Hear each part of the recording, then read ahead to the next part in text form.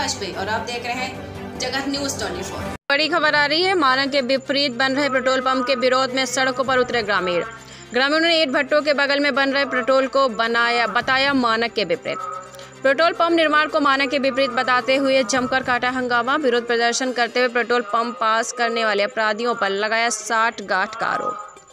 मजदूर वर्ग के लोगों ने ईट भट्टे के बगल से पेट्रोल पंप खोलने पर जताई आग, लगने पर बड़े हादसे की आशंका।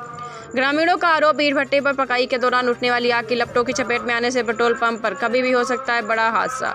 करीब 200 से 300 से परिवार के साथ झोपड़ झुग्गियों में रहते हैं मजदूर वर्ग के लोग। पेट्रोल पंप पर रोक न लगने पर ग्रामीणों ने आत्मा आत्मदाह व पलायन की दी चेतावनी। एचपीसीएल कंपनी का गाटा संख्या 110 माइल स्टोन तिरपन व आगरा हाईवे मार्ग पर बन रहा है पेट्रोल पंप। थाना बसैया रेला क्षेत्र के पूरा जवाहर स्थित बाह आगरा हाईवे मार्ग पर निर्माणाधीन पेट्रोल पंप का है पूरा मामला। आगरा जटपुरा लोहा मंडी से क्राइम रिपोर्टर असलम अली की खास रिपोर्ट जगह न्यूज़ 24 तरीके जो बहुत ही मतलब गलत है। प्रशासन आँख मूंदे हुए है। विशेषकर जो ज़िले के अधिकारी हैं वो तो बिल्कुल बिके हुए हैं। कहीं भी कोई भी सुनवाई नहीं हो रही है ये बहुत ही गलत है।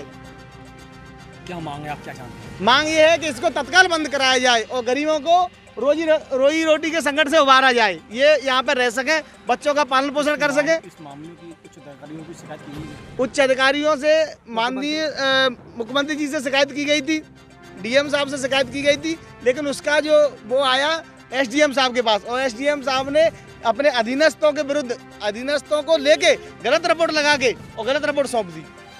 मामले में अभी कुछ आपको संतुष्ट कोई जवाब नहीं मिला। कोई संतुष्ट जवाब नहीं है और ना ही कोई मिलने की उम्मीद है क्योंकि प्रशासन चंद पैसों में और ज़िंदगी के लोगों से खिलवाड़ कर रहा है। कोई अगर ठोस कार्रवाई नहीं दिखती तो आप लोग क्या नहीं अगर कोई नहीं हुआ तो ये लोग जाम लगाएँगे क्या करेंगे ये आत्मदाह करेंगे ये बेचारे मजदूर हैं।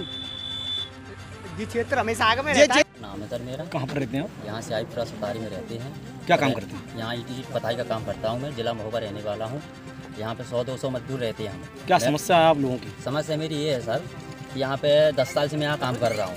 और अभी कुछ दिन पहले यहाँ पे नए पेट्रोल पंप की शुरुआत हो रही है जो कि पंद्रह मीटर दूर है भट्टे से।